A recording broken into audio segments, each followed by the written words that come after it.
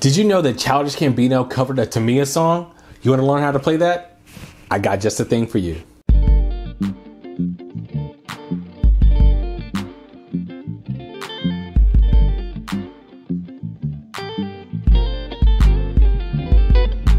Hi, it's your boy Kerry Two Smooth. If you're brand new to this channel, go ahead and subscribe. Click the bell so you're always notified when we drop a new video because I don't want you to miss out. All right. Did you know that Childish Gambino in a radio interview covered a Tamia song? I'm going to show you how to play that song because again, I like the arrangement, the simplicity of it, um, just how he did it. And then I'm going to show you some, some sauce. I'm going to give you a little bit more substance if you want to kind of play around it a little bit. But remember, the thing that I always want to drive home is discipline, discipline, discipline. You might be able to do all types of tricks all across the fretboard, but you want to be as disciplined as possible. So we want to talk about that. Never, never forget that point. I mean, regardless of how much I go up and down the neck of the guitar and can do all types of things, it's great. But you want to be disciplined as well. So let's just take a listen to this song. Um, the song is "So Into You." All right, so let's listen.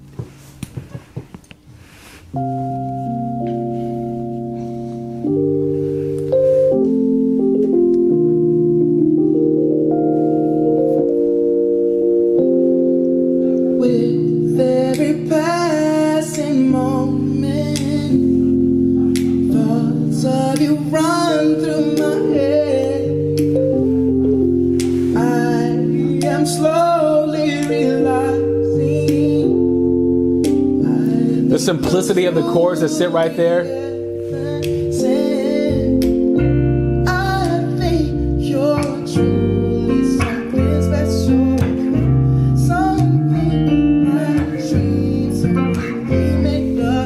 Before we get too far into it, because I listen, it feels good. We can we can vibe. So before we get too far into let's let's let's talk about what key we're in. So we're in B flat.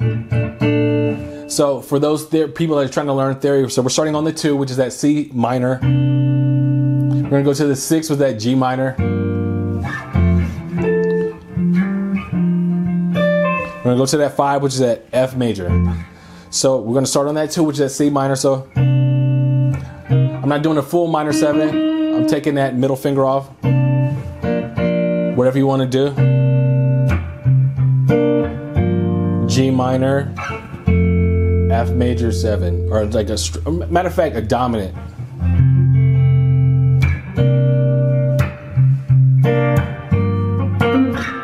And because again, I don't have a percussion player, I don't have anybody that's kind of playing pads or playing uh, drums or whatever. I'm keeping the beat myself, so you hear me hear me striking the strings to kind of keep that rhythm. And what I'm doing is a technique that I like. I play the bass string with my thumb, but I'm using my index finger and kind of to, to pick out various notes that are in the chorus. I'm not trying to play every note that's in the chord, but I'm trying to play stuff that so it rings out.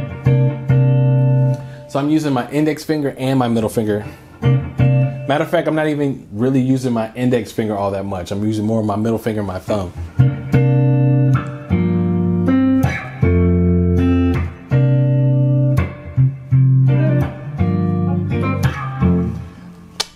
I really like. So I'm using that to kind of keep the rhythm.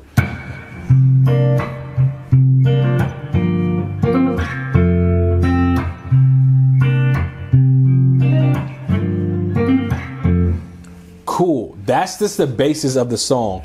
We stay in that same particular vein. We don't really do too much. We don't go too much outside of that, okay? So again, that's that C minor, G minor, F major.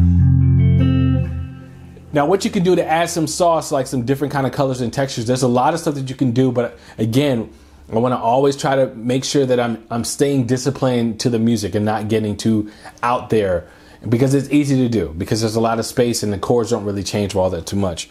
But this is a movement that I like that I want to incorporate a lot of times when I'm playing when I feel like I want to be like throw a little bit out there. So I'm like, oh, I can not necessarily you're trying to wow the crowd, but like for those musicians out there that are listening, like give them a little bit of ear candy. So it's like when I go off of that C minor, I walk up the bass zone.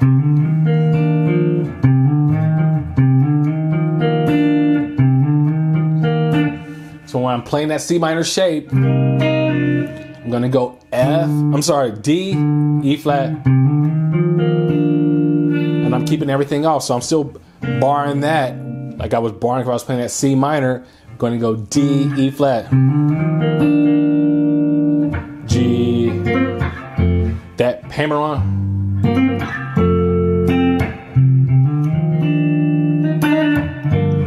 And I do that hammer on with that middle finger. You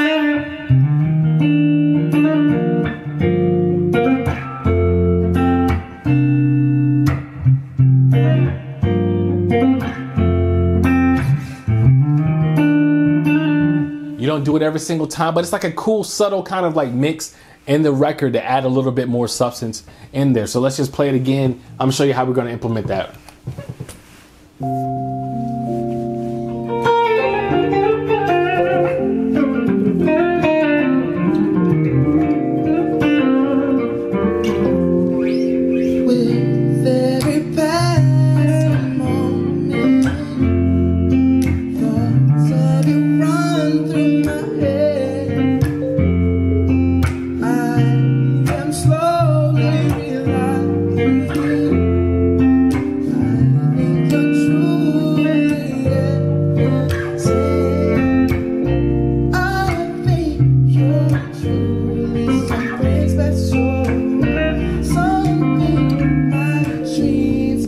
Because again, we can move around in the music because it's simple.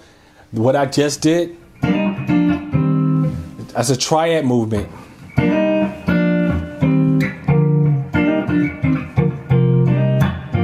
So I want to make sure I'm doing it within time because it's a small window.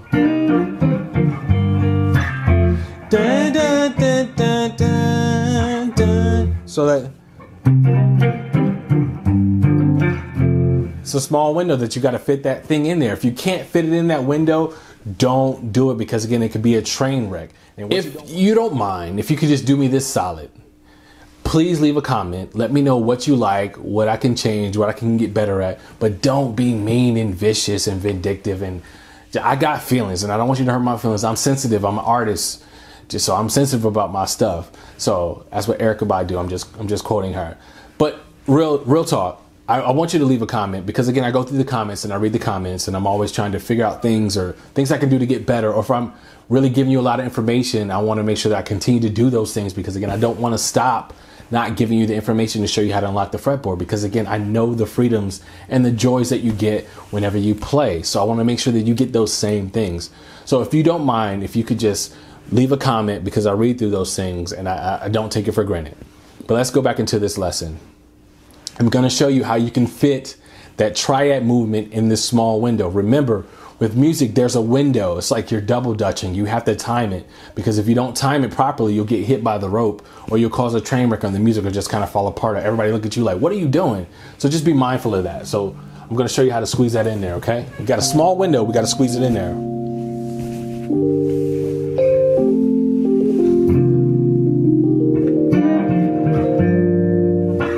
Right there.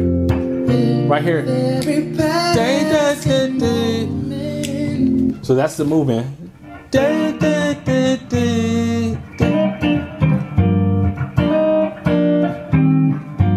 So like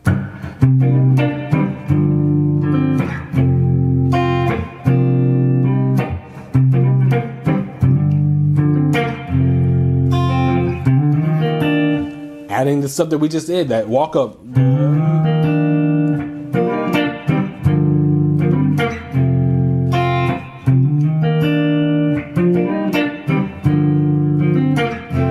And what I would encourage you to do, like whenever you're like, you can practice with the video, of course, but if you find a space that like, okay, you want to implement a new thing, keep looping it. I know it may be redundant and I know you may just get tired of actually doing it, but the more you loop it, the better it'll feel and the more natural it'll be for you to kind of pull off that move. So the way that you're not trying to wait till the last minute to try to do it in a show or do it in a jam session or whatever it is if you're playing live and you happen to fumble.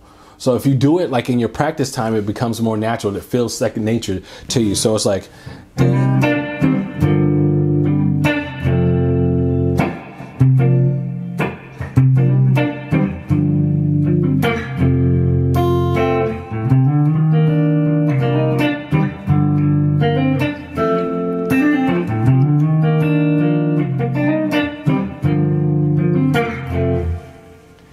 Things like that make a huge difference.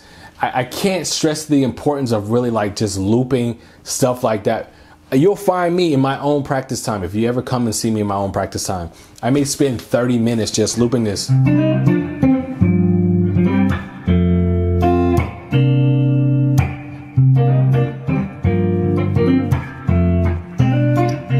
and I might start adding little small nuggets here and there. So the way I start to become more comfortable with the neck of the guitar, I know the limitations and capabilities of what I can try to do, what I can fit in that space, and I'm not waiting till a live moment to do it where I might embarrass myself or it may not pull off what I'm trying to do or may not play what I intend to hear in my head. So I want to try to practice it in my own practice time so the way I have it locked in. I cannot stress that enough. Don't find yourself just trying to speed through stuff, but really just take the time to really focus in and lock in. So this song that we went over today was Childish Gambino's cover of Tamia's So Into You. If you love the stuff that we're doing, if you're brand new to the channel, go ahead and subscribe. Click that bell so you're always notified. Also, too, if you're looking to go a little bit deeper and you want to just like really have me as your mentor, go to kerryskamp.com and sign up. I would love to be your mentor and give you the stuff that's going to give you the keys. That's really going to show you how to unlock your fretboard.